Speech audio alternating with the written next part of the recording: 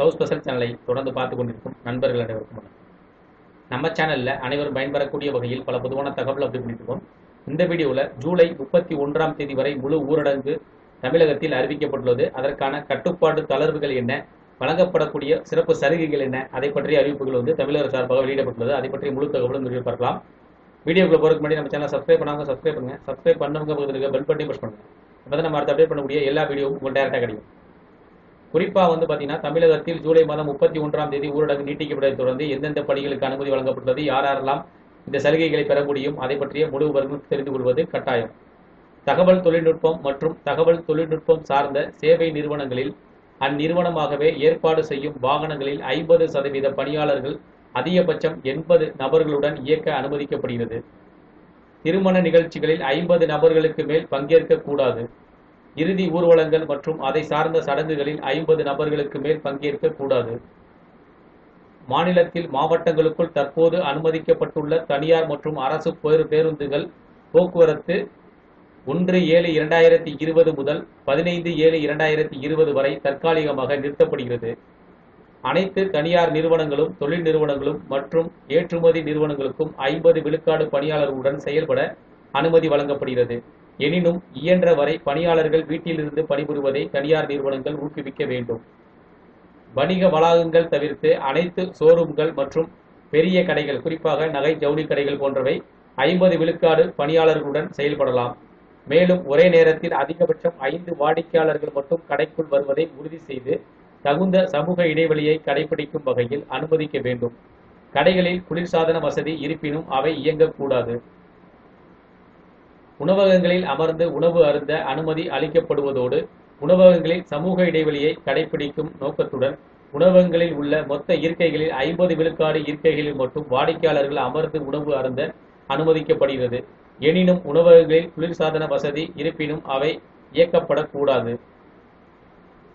தேநீர் கடைகள் உணவு விடுதிகள் மற்றும் காய்கறி கடைகள் மளிகை கடைகள் ஆகியவை காலை ஆறு மணி முதல் இரவு எட்டு மணி வரை அனுமதிக்கப்படுகிறது. தேநீர் கடைகளில் உள்ள மொத்த இருக்கைகளில் ஐம்பது விழுக்காடு அளவு மட்டும் வாடிக்கையாளர்கள் அமர்ந்து உண்பதற்கு அனுமதி வழங்கப்படுகிறது.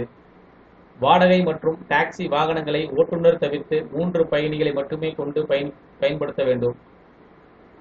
பெருநகர சென்னை காவல்துறை எல்லைக்குட்பட்ட பகுதிகளில் மற்றும் முழு ஊரடங்கு அமலில் உள்ள காஞ்சிபுரம் திருவள்ளூர் செங்கல்பட்டு மாவட்டங்களில் உள்ள பகுதிகளிலும் நோய் கட்டுப்பாட்டு பகுதி தவிர மற்ற பகுதிகளில் கீழ்கண்ட பணிகளுக்கு மட்டும் ஆறு ஏழு இரண்டாயிரத்தி இருபது முதல் அனுமதி வழங்கப்படுகிறது. ஆட்டோக்களில் ஓட்டுநர் தவிர்த்து இரண்டு பயணிகள் மட்டுமே பயணிக்கலாம். சைக்கிள் ரிக்ஷா அனுமதிக்கப்படுகிறது. முழு ஊரடங்கு நீட்டிக்கப்படும் இடங்களில் முப்பது ஆறு இரண்டாயிரத்தி இருபது வரை வழங்கப்பட்ட இ பாஸ் ஐந்து ஏழு இரண்டாயிரத்தி இருபது வரை செல்லும் என்றும் இதற்கு மீண்டும் புதிய இ பாஸ் பெற தேவையில்லை என்றும் கூறப்பட்டுள்ளது. முடித்திருத்தும் மற்றும் அழகு நிலையங்கள் குளிர்சாதன வசதியை பயன்படுத்தாமல் அரசு தனியாக வழங்கிய நிலையான செயல்பாட்டு வழிமுறைகளை பின்பற்றி இயக்க அனுமதிக்கப்படுகிறது. மீன் கடைகள் போலி இறைச்சி கடைகள் மற்றும் இறைச்சி கடைகள் மற்றும் முட்டை விற்பனை கடைகள் சமூக இடைவெளி நடைமுறைகளுக்கு உட்பட்டு அனுமதிக்கப்படுகிறது. பெருநகர சென்னை காவல்துறை எல்லைக்குட்பட்ட பகுதி தவிர தமிழ்நாட்டில் பிற பகுதிகளில் நோய் கட்டுப்பாட்டு பகுதிகள் தவிர மற்ற பகுதிகளில் ஒன்று ஏழு இரண்டாயிரத்தி இருபது முதலிலும் காஞ்சிபுரம் திருவள்ளூர் செங்கல்பட்டு மாவட்டங்களில் முழு ஊரடங்கு அமலில் உள்ள பகுதிகள் மற்றும் மதுரை மாவட்டத்தில் மதுரை மாநகராட்சி எல்லைக்குட்பட்ட பகுதிகள் பறவை பேரூராட்சி மதுரை கிழக்கு மதுரை மேற்கு மற்றும் திருப்பரங்குன்றம் வட்டார வட்டாரங்களுக்கு உட்பட்ட அனைத்து கிராம ஊராட்சிகளிலும் ஆறு ஏழு இரண்டாயிரத்தி இருபது முதல் கீழ்கண்ட பணிகளுக்கு மட்டும் அனுமதி அளிக்கப்படுகிறது. கிராமப்புறங்களில் உள்ள சிறிய திருக்கோவில்கள் அதாவது பத்தாயிரம் ரூபாய்க்கு குறைவாக ஆண்டு வருமானம் உள்ள திருக்கோவில்களிலும் சிறிய மசூதிகளிலும் தர்காக்களிலும் தேவாலயங்களுக்கும் மட்டும் பொதுமக்கள் தரிசனம் அனுமதிக்கப்படுகிறது. இத்தகைய வழிபாட்டு தலங்களில் சமூக இடைவெளி மற்றும் பிற நோய் தடுப்பு நடவடிக்கைகளை தவறாமல் கடைபிடிக்க வேண்டும். மாநகராட்சி நகராட்சி மற்றும் பேரூராட்சி பகுதிகளில் உள்ள அனைத்து வழிகாட்டு வழிபாட்டு தலங்களுக்கும் கிராம பகுதிகளில் உள்ள பெரிய வழிபாட்டு தலங்களுக்கும் தற்போது உள்ள நடைமுறைப்படி பொதுமக்கள் தரிசனம் செய்ய அனுமதிக்கப்பட மாட்டாது. தொழில் நிறுவனங்கள் மற்றும் ஏற்றுமதி நிறுவனங்கள் நூறு விழுக்காடு பணியாளர்களுடன் இயக்க அனுமதி வழங்கப்படுகிறது. தகவல் தொழில்நுட்பம் மற்றும் தகவல் தொழில்நுட்பம் சார்ந்த சேவை நிறுவனங்கள் நூறு சதவீத விழுக்காடு பணியாளர்களுடன் இயங்க அனுமதிக்கப்படுகிறது. எனினும் இருபது விழுக்காடு பணியாளர்கள் வீட்டிலிருந்து பணிபுரிவதை ஊக்குவிக்க வேண்டும். அனைத்து தனியார் நிறுவனங்களுக்கும் நூறு விழுக்காடு பணியாளர்களுடன் செயல்பட அனுமதி வழங்கப்படுகிறது. எனினும் இயன்ற வரை பணியாளர்கள் வீட்டிலிருந்து பணிபுரியவதை தனியார் நிறுவனங்கள் ஊக்குவிக்க வேண்டும்.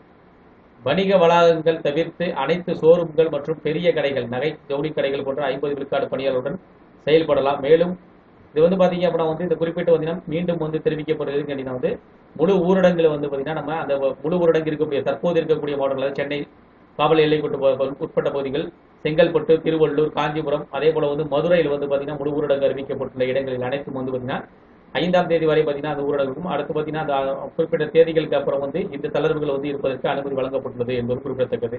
அதிகபட்சம் ஐந்து வாடிக்கைகள் மட்டும் கடையில் இருக்கும்போது பயன்படுத்திக் கொள்ளலாம்.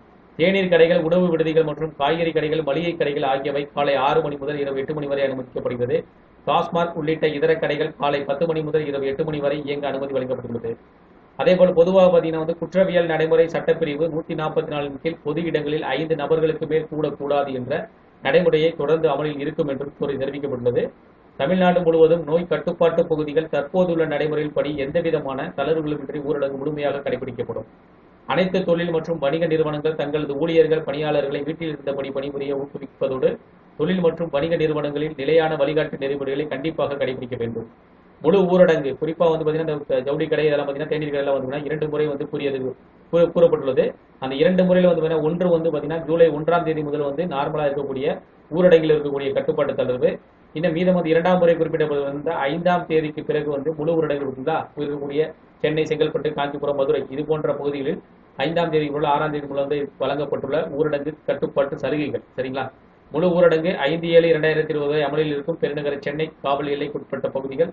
காஞ்சிபுரம் செங்கல்பட்டு திருவள்ளூர் மாவட்டங்களில் சில பகுதிகளிலும் மதுரை மாவட்டங்கள் மதுரை மாவட்ட மாநகராட்சி எல்லைக்குட்பட்ட பகுதிகள் பறவை பேரூராட்சி மதுரை கிழக்கு மதுரை மேற்கு மற்றும் திருப்பரங்குன்றம் வட்டாரங்களுக்கு உட்பட்ட அனைத்து கிராம ஊராட்சிகளிலும் உள்ள தொழிற்சாலைகளை பொறுத்தவரை தற்போதுள்ள நடைமுறை அதாவது தொழிற்சாலை வளாகத்திலேயே அதன் அருகிலேயோ தொழிலாளர்கள் தங்க வைக்கப்பட்டு பணிபுரிய அனுமதிக்கும் நடைமுறை தொடர்வதற்கும் மற்ற பகுதிகளில் தற்போதுள்ள முறை தொடர்வதற்கும் உத்தரவிட்டுள்ளது. குறிப்பாக இந்த ஊரடங்கின் மூலமாக என்ன சொல்லியிருக்காங்கன்னா ஜூலை முப்பத்தி மூன்றாம் தேதி ஊரடங்குல தற்போது இருக்கிற நடைமுறை வந்து அதிகபட்சமாக நடைமுறை இருக்கும். குறிப்பாக இந்த முழு ஊரடங்கு இருக்கக்கூடிய பகுதிகளில் வந்து ஐந்தாம் தேதி வரை வந்து தற்போது இருக்கக்கூடிய நடைமுறையே பின்பற்றப்படும் அப்படின்றாங்க. அதன் பின்னர் ஆறாம் தேதிக்கு பின்னர் சில வகையான குறிப்பிட்ட தளர்வுகள் அறிவிக்கப்பட்டுள்ளது. குறிப்பாக வணிக நிறுவனங்கள் அதே போல வந்து பணியாளர்கள் வேலைக்கு செல்லக்கூடிய தொழிற்சாலைகள் பணிக்கு செல்லக்கூடியவர்கள் அதேமாதிரி கடைகள் இயங்குவது இது பற்றி வந்து பார்த்தீங்கன்னா சில தளர்வுகள் அறிவிக்கப்பட்டது குறிப்பிடத்தக்கது. இந்த வீடியோ வந்து பார்த்தீங்கன்னா கண்டிப்பாக தமிழகத்தில் இருக்கக்கூடிய அனைவருமே தெரிந்து கொள்ள வேண்டிய ஒரு முக்கியமான தகவல். இந்த வீடியோ பற்றிய தங்களுடைய கருத்துக்கள் ஏதாவது இருந்துச்சுன்னா கமெண்ட் செக்ஷன் வேற ஏதேனும் ஜூலை முப்பத்தி ஒன்றாம் தேதி வரை ஊரடங்கு கட்டுப்பாடு தளர்வுகள் கூடுதலாக வேற ஏதேனும் உங்களுக்கு தகவல் தேவைப்பட்டால் கமெண்ட் செக்ஷன்ல பதிவுங்க இந்த வீடியோ பிடிச்சிருந்தா லைக் பண்ணுங்க. முடிந்தவரை இந்த வீடியோ தமிழகத்தில் இருக்கக்கூடிய உங்களுடைய நண்பர்கள் உறவினர்கள் எல்லாருக்கும் ஷேர் பண்ணுங்க ஃபாலோ பண்ணுங்க. மறக்காம நம்ம சேனலை சப்ஸ்கிரைப் பண்ணுங்க. சப்ஸ்கிரைப் பண்ணுங்க பக்கத்துக்கு பெல் பண்ணி புஷ் அப்போ அப்பதான் நம்ம அடுத்த அப்டேட் பண்ணக்கூடிய எல்லா வீடியோவும் உங்களுக்கு டேரக்டாக கிடைக்கும். தேங்க்யூ ஃபார் வாட்சிங்